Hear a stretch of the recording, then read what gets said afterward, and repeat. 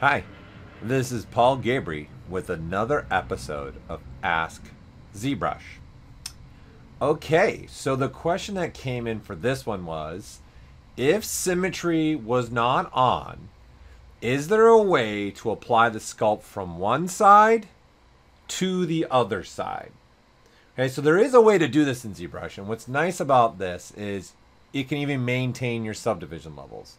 So let's take this model and let's just do a very strong stroke on his belly area here, just so we have something very pronounced here. And now I'm going to mask that side.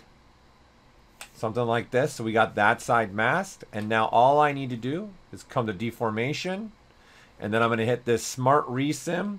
And I'm going to make sure I am doing this along the X axis for this model because this is X symmetry. I'm going to click that button.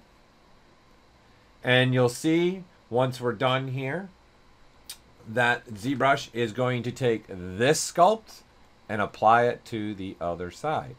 And it's that easy to apply a sculpt from one side of the model to the other side.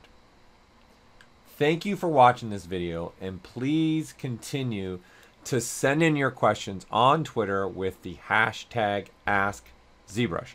Again, send in your questions through Twitter and just make sure you use the hashtag AskZBrush. Thanks again. Have a great day and happy ZBrushing.